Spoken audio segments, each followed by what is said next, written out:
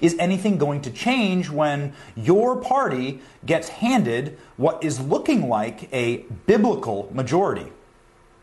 You know, I think so. I think we, we're aware of the fact that the Republicans, we have dropped the ball and we are deep in our own territory. And I've, I've told Leader McCarthy and others, we cannot take a knee this time. We have to get the ball. We have to move back to midfield. We have to bring some semblance of common sense back to DC. And I tell you one thing, my background's garbage, and when I tra- when I agreed to run for this job, I, I, there's a lot of correlation between garbage and politics, Benny. But uh, I can tell you this: so we've got to use some common sense and try to move this thing back to the middle. And you know, maybe we need more just everyday guys with calluses on their hands. You don't see a lot of that in DC, and honestly, we need more people that understand the process of what really made America great.